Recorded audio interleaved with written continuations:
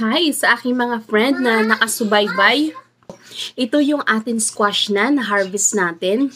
Ginawa ko siyang squash maha kasi may nag-suggest doon sa aking page na gawin ko daw squash maha. Ang sarap pala niya guys. At saka very rich in vitamin A. Creamy and rich. Mm.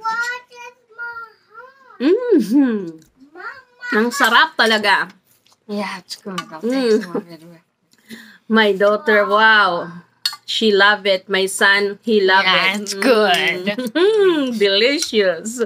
The squash. So I know already next year, I'm starting to sowing the seeds now. Mm, delicious talaga guys. Oh.